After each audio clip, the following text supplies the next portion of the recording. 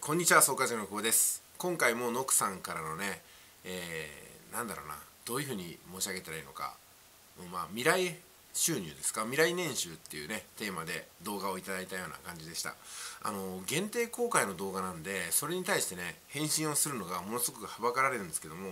まあ遜色なく言うとするとねこれからはあの相談事の時代が来るということだったと思います。まあ私のね世界の話で言うとコンサルって言葉はよく使われますけどね。要するに困ったことに対して解決を求めるためのまあいわゆるねコンシェルジェって言いますけどもそういう方が身の回りにいたらどうですかってことなんですよ。私の場合はですね、えーと、プラチナカードってものを使ってそのプラチナカードの特典っていうのはコンシェルジェがついてるんですよね。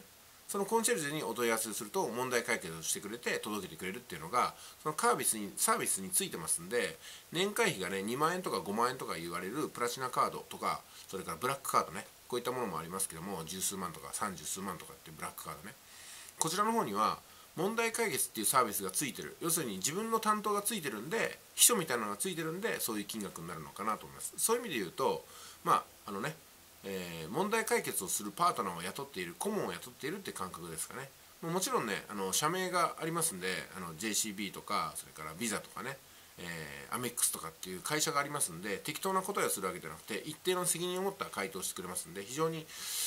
使えると思うんですよ。私の場合はですね今回 GoTo トラベルキャンペーンってもので、えーと、予算はこのぐらいでどこどこに行きたくてどのぐらいの日程でってことをお話しするとうん。まあ、1時間とか3時間とか2日とか3日とかね時間のまちまちあるんですけどもいろんなプランを提案してくれますよね。でもちろんそこには最小限の手続きで最大限の効果が出るものをチョイスして送ってくれますので非常に助かった覚えがあります。でこれはですねコンシェルジェ専門の会社があるんですよ。コンシェルジェ専門の会社があってそこにあらゆるカード会社とかいろんな会社が発注してるって形なんでそのコンシェルジェ専門の会社っていうのは問題解決のスペシャリストが集まってるんですよね、まあ、そういう意味で言うとそういう方をまあ、カードの付帯サービスで雇っておくのは悪くないなと思いまして私は3社のプラチナカードを今所有している状態ですね。そうすると3社で同じ質問を出すわけですよ。同じ相談事。そうするとそれぞれの回答が来てすごく参考になりますよね。でこういったものがコンシェルジュサービスの、ま、肝なんですけども今回ノクさんがお話しくださったのはこのカードを契約しなくてもコンシェルジュってもの自体を雇うことができるよってことなんですよね。えっ、ー、とね私が今まで聞いたところによると入会金とか年会費とか月額会費っていうのがいまいちわからないんですけどもただ1万2000円ぐらいで参加できるのかなっていう気はしましたね。それが毎年1万2000円なのかで毎月は毎月で2000円がずっとかかるのかってことはいまいちわからないんですけどもただなんとなくあこうなんじゃないかなって思うところは伝わってきましたんで、えー、非常にね分かりやすいですね、はい、だからここではね限定公開のことを一般公開にする中でこうやって言葉を濁さないといけないところもありますんでこういう話し方になりますけども、うん、だからコンシェルジェ自体がサービスになるっていうのはうん何と言いますかね結構なあの乗るかそるかの投資だと思うんですよ。ありえるなと思う反面コンシェルジェってもののあの概要を理解するのに多くの方は時間がかかると思います。なんで相談ごとに金かかるんだよみたいな感じでね。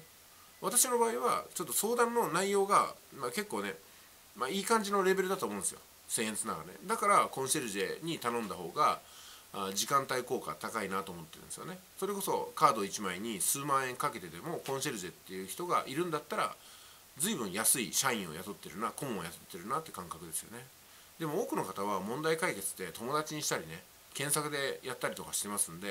ていうかそういうレベルまあ本当言い方申し訳ないんですけどもそのレベルで解決できる問題ばかりなんですよ多くの方はね。それは当たり前ですよね。そんななんかね莫大なお金を使ったりとか大きな企業間取引があったりとか私の場合隠居ですけどもね 隠居っていう世界にいる人はほとんどいないんでだから質問のレベルが違うとあの多分ね会社で起きた問題は会社の人が解決してくれるしその私生活で起きた問題は私生活でつながってる人が解決に一番近いと思うんで、うん、確かにコンシェルジェになんかお願いするっていうことがねそんなにないと思いますね。ただ一定のレベルのというとまたね言い方難しいんですけども一定の部類に所属する人はコンシェルジェじゃないと解決できない問題があるのは確かなんで、えー、経営者の方とかね投資家さんとか高所得者とかそれからあのそういった方の家族とかっていうのにはコンシェルジュサービスっていうのはむちゃくちゃ向くんじゃないかなと思いますんで私の場合はあの今回ノックさんにご紹介いただいたコンシェルジェサービスこれを使いたい方はね結構いるなと思ってます。ただそういう方はほとんどプラチナカード持ってるんでコンシェルジュついてるなと思うとそことのね競争になるかなと思うんでね、うん、だからそのどこがどう違うのかってことが説明できれば私が説明できれば多分あの入会者を増やせるんじゃないかなと思うんですよ。でいろんな方に喜んでいただけるんじゃないかなっていう感じますね、えー、今回のね限定公開動画に対する返信ですけどもこのぐらいがギリギリですかね。あの一般公開しちゃいけないような気もするんで、えーと、多分ねほとんどの方意味が分かんなかったと思いますけども分かんなければ正解ですって感じですね。分かってしまうとノクさんに叱られそうなんで今日はこの辺で。